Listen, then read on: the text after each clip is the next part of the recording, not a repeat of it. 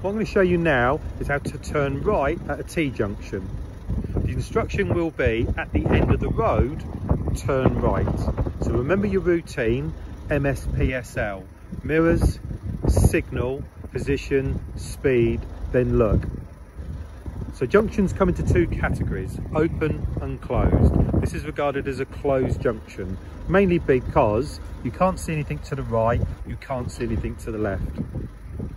So as you're approaching the junction, you check your centre door, centre mirror and your right door mirror.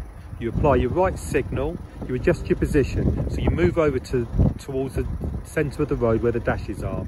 As you're slowing down, effective observation. Make sure you have a good look to the left, have a good look to the right. It doesn't matter which order you do it, as long as you safely do it. And remember, you need to give way to the right and to the left. So, as you're approaching the junction, check your mirrors, give your signal,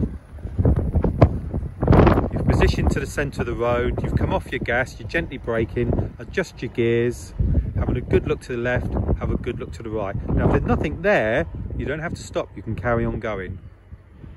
And what you mustn't do is drive over the centre of the road, which we call the policeman's toes. You check your centre mirror and drive on. At the end of the road, turn right. So the routine is mirrors, that's centre mirror, right door mirror, right signal, off your gas, gently braking, have a look in both directions, looking where the centre of the road is.